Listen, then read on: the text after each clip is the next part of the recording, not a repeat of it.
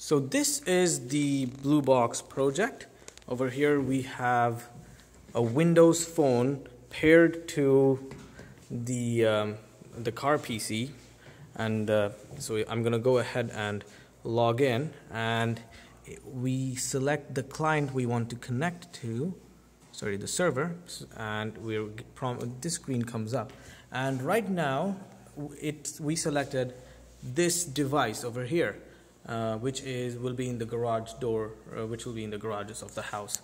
So if I go ahead and I type the password one two three four and I put login um, as we can see we're on the same screen and the light goes from red to green. So I'm gonna go ahead and open I'm, I'm gonna go ahead and turn on the light so if I go into light and say change this to this the light turns on. And this light turns oh this light turns off.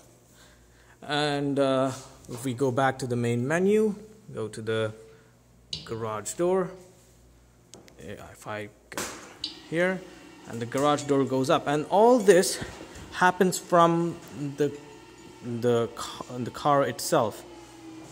And uh, and it can and we can also operate it manually from this device.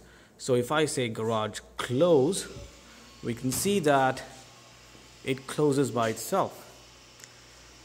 So in the future, an, um, an application that can do this would be MirrorLink or by CCC or AppLink by Ford. Uh, that was my small demonstration of the Blue Box concept. Thanks for watching.